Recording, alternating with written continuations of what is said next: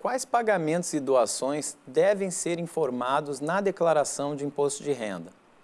É obrigatória a informação de todos os pagamentos e doações efetuados a pessoas físicas, sejam estes dedutíveis ou não. Também é obrigatória a informação de todos os pagamentos e doações a pessoas jurídicas que dão direito à dedução. Quando obrigatória, a não declaração de pagamentos e doações ou a sua declaração em valores menores que o efetivamente realizado, sujeita o contribuinte ao pagamento de multa no montante de 20% do valor não informado.